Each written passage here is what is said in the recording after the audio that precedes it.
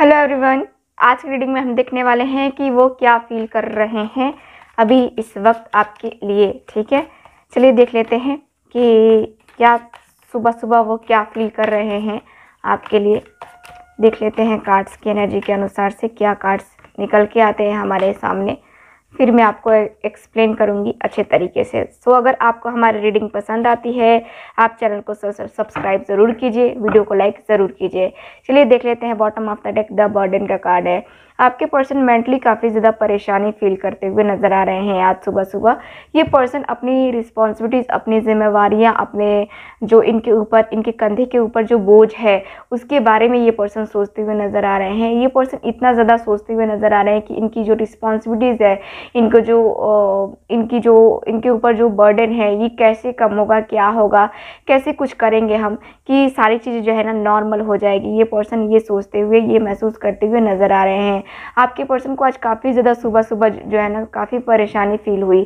ठीक, यहाँ पे दिख रहा है जैसे कि ये पर्सन जो है हो सकता है कि कहीं जो है ट्रैवल करने वाले हैं। उसके बारे में ये पर्सन फील करते हुए दिख रहे हैं कि शायद अगर आप दोनों इस वक्त एक दूसरे के साथ होते तो कितना मज़ा आता है कितना अच्छा लगता है एक दूसरे के साथ इस तरीके से खुल के आ, मिलने का बातें करने का या एक एक जो है ना अच्छा टाइम स्पेंड करने का कितना अच्छा टाइम था ये ठीक है? ये पर्सन को ऐसा फील हो रहा है। ये पर्सन को ये भी लग रहा है जैसे कि आप जो है इनका पूरा पूरा साथ देते बहुत इंजॉय करते क्योंकि आप वैसे पर्सन हो एक चंचल से स्वभाव के। चंचलता आपके अंदर बहुत ज़्यादा है। आपके पर्सन को ये फील हो रहा था आपके लिए कि काश काश आप होते इनके पास, इनके करीब होते। तो और और कितना अच्छा होता, ठीक है? यहाँ पे ये फील करते हुए मैं देख पा रही हूँ। ये पर्सन इन सारी चीज़ों को याद करते हुए काफ़ी ज़्यादा उदास उदास बैठे थे, काफ़ी परेशान परेशान मुझे नज़र आ रहे हैं। काफ़ी ज़्यादा अकेलापन इस पर्सन को फील हो रहा था आपके लिए। काफ़ी ज़्यादा अकेलापन।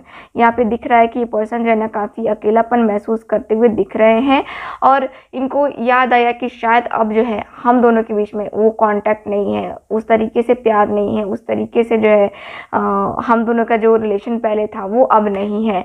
ठीक है? ये पर्सन बहुत ज़्यादा उदास हो गए बहुत परेशान हो गए जब इनको एहसास हुआ कि नहीं ये रिलेशनशिप तो बस बस बस यहीं तक था। ठीक है तो यहाँ पे मैं यही देख पा रही हूँ कि ये जो पर्सन है, काफ़ी ज़्यादा उदास उदास थे, काफ़ी परेशान परेशान थे। और यहाँ पे ये पर्सन जो है अपने रिश्ते पे काम करने के लिए भी इनकी फीलिंग्स में देख पा रही हूँ। ये पर्सन महसूस कर रहे थे कि अपने रिश्ते पे जो हो सकता है, वो हम वर्क करें। तो क्यों ना ये पर्सन ये जो रिलेशनशिप है काफ़ी बेहतरीन हो सकता है। अगर काम किया जाए, पूरे मन लगन से काम किया जाए तो ये रिलेशनशिप काफ़ी अच्छा हो सकता है, काफ़ी अच्छा बन सकता है। ये पर्सन ऐसा जो है फील कर रहे थे आज सुबह सुबह ठीक है? सो मैं आपकी रीडिंग में आपके कार्ड्स के अनुसार से यही देख पा रही हूँ। ठीक? सो करते हैं अब रीडिंग को ख़त्म, मिलते हैं फिर अगली रीडिंग में। बाय